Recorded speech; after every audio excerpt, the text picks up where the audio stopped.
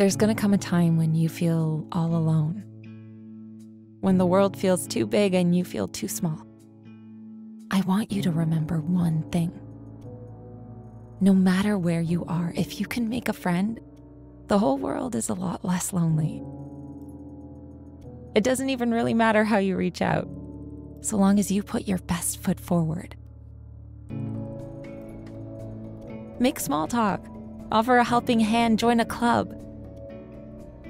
It can be scary to take that first step, but you'll be amazed at how much things can change for the better once you do.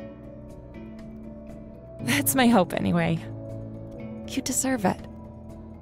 Mom, I don't know. Oh, good! You're still here!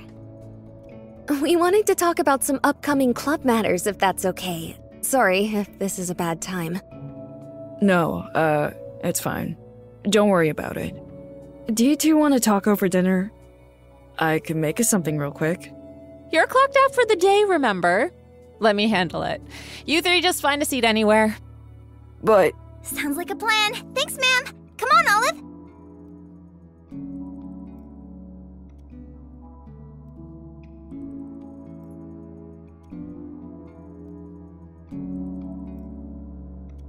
Above all else, I hope you know your family will always be there for you, no matter what it looks like.